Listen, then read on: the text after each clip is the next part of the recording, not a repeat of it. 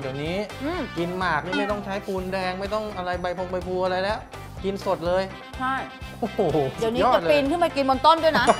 ไม่ใช่ อันนี้ไม่ใช่หมาก ไม่ใช่เหรอ มันกินได้หมากที่ไหนจะมากินแบบนี้ นี่เห็นไหมอันนี้เขาต้มมาแล้วนะ นี่นี่เห็นไหมอ่า เหลืองๆอันเนี้ยอุ้ยมันเหมือนลองมันชิมเลยนะในเนี้ยลองชิมดูอืมรสชาติมันจะแบบเฮ้ยเหมือนมันผสมเก่าลัดเนาะใช่ใช่ไหมใช่ อันนี้เนี่ยไม่ใช่หมากอย่างที่ผู้บอกนะฉันก็ไม่ได้กินหมากด้วยอายุยังไม่ถึงขนาดนั้นแต่ว่ามันเป็นพืชตระกูลเดียวกันไอ้เจ้าเนี่ยก็เป็นพืชตระกูลปาล์มเหมือนกัน อืมชื่อของเขาก็คือผู้พานเฮจริงๆเขามีชื่อประจำของเขาแต่ด้วยความที่ตอนนี้คนไทยมีการนำมาปลูก แล้วก็ คนที่นำเข้ามาปลูกแรก ๆ เลยเนี่ยเขาปลูกอยู่ที่จังหวัดสกลนครเขาก็เลยตั้งชื่อให้มันมีความเป็นสกลนครนิดนึงซึ่งไอ้เจ้าภูพานเฮเนี่ยค่ะอย่างที่พี่บอกเขาเป็นพืชตระกูลปาล์มใช่ไหมครับแล้วประโยชน์เขาเยอะมากคือหมายถึงว่ากินได้หลายส่วนอืมจะเป็นยังไงเดี๋ยวจะพาคุณผู้ชมไปดูกันถึงสวนถึงแปลงที่เขาปลูกภูพานเฮกันเลยค่ะอยู่ครับที่อำเภอเมืองจังหวัดสกลนครค่ะไปครับ เรื่องเด็ดเอตโลวันนี้เราพาคุณผู้ชมไปกันที่จังหวัดสกลนครค่ะ ไปรู้จักกับพืชตระกูลปาล์มนะคะ ซึ่งก็ถือว่าเป็นพืชที่หลายคนเริ่มให้ความสนใจ เจ้าพืชชนิดนี้นะคะ เราเรียกกันว่าผูพานเฮค่ะ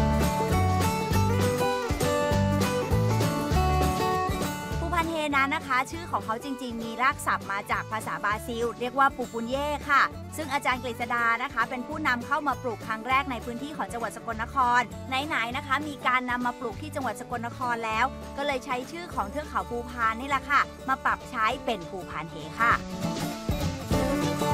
พืชตัวนี้นะครับเป็นพืชกลุ่มตระกูลปาล์มนะครับเป็นพืชเขตลาตินอเมริกาที่เป็นพืชเศรษฐกิจอย่างดีของบ้านเขานะครับเป็นตระกูลปาล์มกินผลกินยอด นะครับแล้วก็ลักษณะทรงต้นของเขานี่เป็นพุ่มนะครับก็จะสามารถปลูกประดับได้นะครับแล้วยังมีสารสำคัญที่เขาปล่อยออกมาจากตัวเขานะครับก็คือบริเวณบ้านเรานะครับหรือสวนนะครับจะไม่มียุงนะครับตัวนี้แปลกมากนะครับจะไม่มียุงเลย มีเมือกมียางนะครับทุกส่วน สมมติใบเนี่ยถูกรบกวนด้วยตั๊กแตนหรือสัตว์ที่มากินนะสักหน่อยเขาจะขับเมือกออกมา แล้วแมลงรบกวนหรืออะไรนี่ก็จะหายไปถึงเราไม่ได้ฉีดป้องกัน ในเรื่องของยาฆ่าแมลงหรืออย่างใดเลยนะครับภูพันเฮเป็นพืชที่มีต้นกำเนิดในกลุ่มละตินอเมริกานะคะ ในสภาพอากาศที่อยู่ในเขตร้อนซึ่งก็เหมือนกับบ้านเราทำให้สามารถปลูกแล้วก็เติบโตได้ในประเทศไทยค่ะภูพันเฮเป็นต้นปาล์มชนิดแตกกอนะคะ เมื่อโตไปเรื่อยๆ จะมีต้นลูกแตกหน่อออกมาข้างๆ ค่ะ ซึ่งภูพันเฮนั้นก็มีด้วยกันหลายพันธุ์นะคะ มีทั้งพันธุ์แบบที่ต้นและใบมีหนาและพันธุ์แบบที่ไร้หนามทั้งต้นทั้งใบ สามารถที่จะปลูกได้ในดินสภาพต่างๆ ค่ะ 2 ปีครึ่งนี่ได้แล้วนะครับ ให้ผลผลิตแล้ว ออกออกจันทร์ตั้งแต่คอดินเลยต้นนี้นี่มีอายุประมาณ 10 ปีนะครับเขาจะเกิดผลตั้งแต่ระดับต่ำๆตัวนี้เลย 1 ข้อคือ 1 จันทร์นะครับเขาจะเกิดขึ้นไปเรื่อยๆ กอหนึ่งกอหนึ่งเนี่ยเป็น 10 10 จันนะครับ แล้วถ้ารวมตัวลูกด้วยก็ 20 จันนะครับ ต้นต้นตัวนี้นะครับ เมื่อเราปลูกไปนี่เดี๋ยวเขาจะแตกกอแตกหน่อออกมาเรื่อยๆนะครับ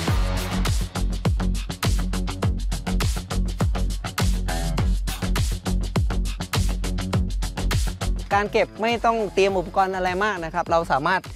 ดึงนะครับก็จะหลุดออกจากโคนได้เลยนะครับง่ายๆนะครับ ยุโรปรู้จักต้นชนิดนี้ว่าเอ็กทรีนะครับส่วนจีนจะรู้จักพืชตัวนี้ในเรื่องของไวอากาทรีนะครับก็เป็นเรื่องที่น่าสนใจครับ แต่ในงานวิจัยมันจะมีสารสำคัญพวกไทอะมีนไลโปฟาวินกรดดูดซับนะครับแล้วก็พวกสังกะสีพวกอะไรที่ช่วยในเรื่องของการขยายเส้นเลือดนะครับแล้วก็ทำให้รู้สึก สดชื่นกระปี้กระเป๋านะครับโดยเฉพาะโปรตีนนะครับตัวผลนะครับมี 7-33%เหลือเชื่อนะครับ ตัวนี้งานวิจัย Journal ผมเจอว่ามีโอเมก้า 369 ปกติจะพบในเฉพาะปลาทะเลน้ำลึกเท่านั้นครับเพราะฉะนั้นผลตัวนี้เนี่ยสารอาหารครบหมด สวยๆ สวยๆ เลย ตัวนี้นะครับก็คือแก่จัดแล้วนะครับ เขาจะเปลี่ยนจากสีเขียวเป็นสีเหลือง สีโอโรส สีแดงนะครับมีหลายเฉดสีนะครับตัวนี้แก่เต็มที่นะครับรสชาติมันเหมือนเกาลัดแล้วครับ กินสดๆเนี่ยไม่แนะนำนะครับ ให้เอาไปปรุงทอดกรอบ อบเผา ย่างต้ม หอมอร่อยกว่าครับ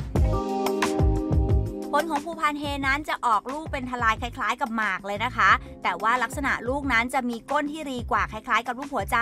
มีทั้งสีเหลือง สีโอโรส สีแดงนะคะ มีหลายเฉดสีเลย เมื่อแก่เต็มที่รสชาตินั้นก็จะเหมือนเกาลัดค่ะ แต่ว่าเวลากินนั้นไม่สามารถที่จะรับประทานสดๆได้นะคะ จะต้องนำไปปรุงให้สุกซะก่อน ซึ่งส่วนใหญ่จะนิยมนำไปต้มให้สุกก่อนก่อนที่จะนำไปทำอาหารอื่นๆ ซึ่งรสชาตินั้นก็อย่างที่พลุบอกเลยค่ะว่าคล้าย ๆ กับเกาลัดค่ะ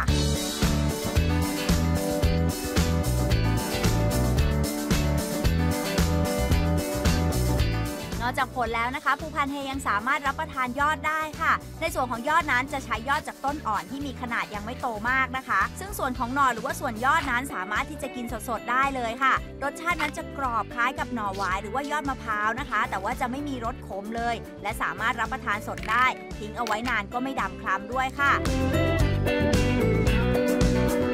สำหรับหน่อที่ได้ออกมานะครับ ตัวนี้เป็นชั้นในแล้วนะครับ จะมีความ กรุบกรอบนะครับ อย่างออนดอนในกัดเลย หวานครับ ให้ช่างภาพของเราลองชิมนะคะ ดูมาแต่ละคนนั้นขนาดนั้นเนอะจะติดใจในรสชาติของหน่อภูพานเฮด้วยค่ะ ได้เลยกัดได้เลยครับอืมไม่มีความขมนะครับ หวานมันกินได้แล้วก็ลื่นๆ กินง่ายนะหน่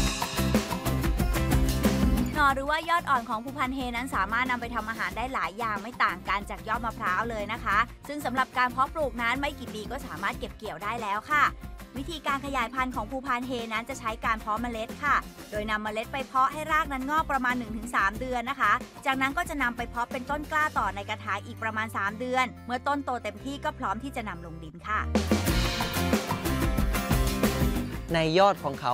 มีโปรตีนอยู่ถึง 18%นอกนั้นก็เป็นสารสำคัญแคลเซียมแมกนีเซียมวิตามิน A D C นะครบหมดเลยนะครับในยอดนะครับงานวิจัยล่าสุดของมหาลัยเกษตรที่เราส่งไปนะครับมีโปรตีนอยู่ที่ใบนะครับอยู่ที่ 17.443%นะครับซึ่งสูงกว่าใบหญ้าที่เราใช้เลี้ยงสัตว์ มันเทียบเท่ากับกลุ่มของอพืชโปรตีนก็คือพืชตระกูลถั่วนะครับเพราะฉะนั้นทั้งผลทั้งยอด และทั้งใบ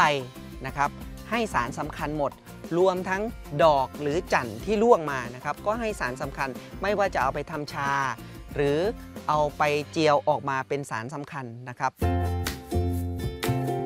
เห็นต้นเห็นผลแล้วก็เห็นหน่อของภูพันเฮแล้วนะคะ หลายคนนะว่าน่าจะอยากได้มาลองปลูกกันค่ะ ซึ่งสามารถที่จะปลูกเอาไว้กินหน่อกินผลหรือว่าจะปลูกเป็นไม้ประดับก็ได้นะคะ เพราะฉะนั้นถ้าหากว่าคุณผู้ชมสนใจ สามารถที่จะสอบถามรายละเอียดกับผู้ปลูกได้โดยตรง หรือสามารถที่จะสั่งซื้อต้นพันธุ์ได้โดยตรงกับทางสวนภูพันเฮจังหวัดสกลนครค่ะ